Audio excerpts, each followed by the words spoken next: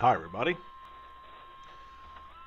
So here we are. We've got the sidewall on the tail cone. Now we are continuing with the wiring. Uh, as as I was talking about in the last video, uh, this is the first time that I'm really uh, starting to delve into the plane's wiring. Not an easy topic. It's a very in-depth topic because you it, it's it's one of those things that you have to be precise about.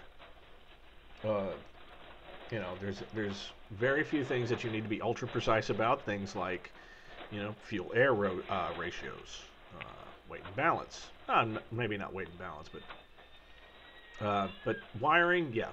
Uh, because unlike a house that just grounds back into the earth, which can be as wasteful as anyone really wants it to be, as long as it's safe, uh, plane is basically its own self-contained Faraday cage.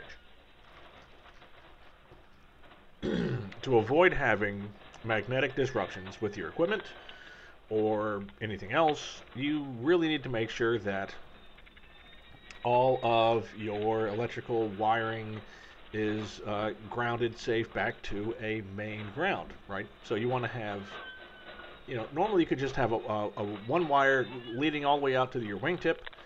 You plug in a landing light, and then you could easily just ground it to the airframe as the return. Uh, that's fine, but then you're pumping 12 volts, you know, into the airframe, which is going to cause huge uh, electrical disruptions and all kinds of mess, and you don't need that. So instead, you have the return line, like in your house, that goes all the way back to the source. That way, there's no uh, big static loops or anything like that. So, for that reason, I never really designed my own system yet. I've been kind of working on it. Uh, a, a, uh, so take the tail cone for example. While I'm sitting here working on the uh, other, pardon me, the other launch run.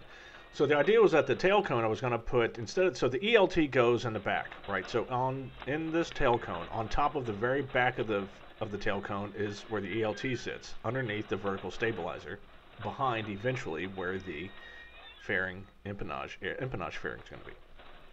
Well, I was going to put the ADAHRS there. Okay. So then I need to move the, uh, then I need to move that, you know, ELT somewhere else.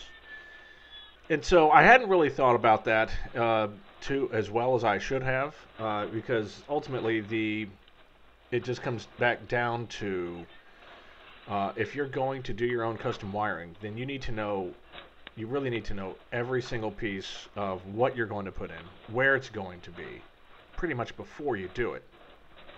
Or you run the risk of having to crawl inside tiny places, uh, or God forbid, like having to open up wings again or something like that.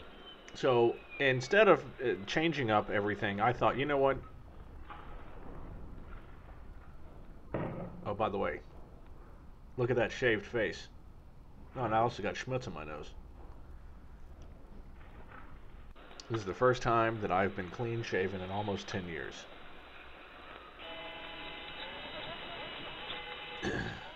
Don't ask why, just thought it'd be a nice change of pace, and I regretted it 10 minutes later. My wife loves it, but I. So, anyway, um, I thought to myself, you know, this is your first plane. Why don't you just shut the hell up, do what the instructions do, and do as you're told? So I did. Uh, I put the stock wiring harness in, which, let me tell you, fans, a-okay. And the only the only hard part about putting that uh, wiring harness in that you saw yesterday was there's two return lines from the uh, elevator trim.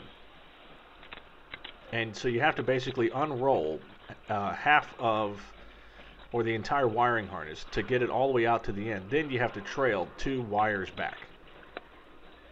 So that's kind of a pain.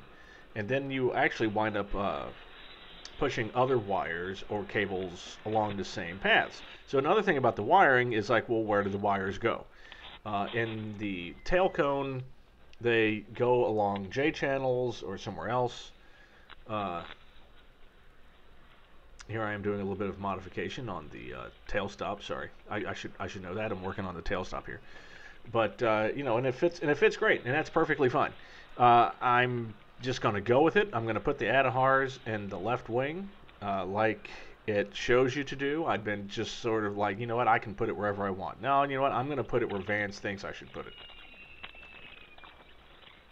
If it's good enough for their designs, then by God, it's good enough for me. So,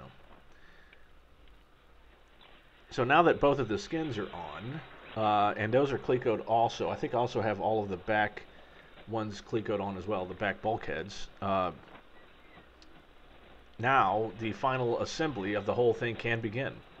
And were I at least smart enough to point the camera in the direction that you could see it, I would show it to you.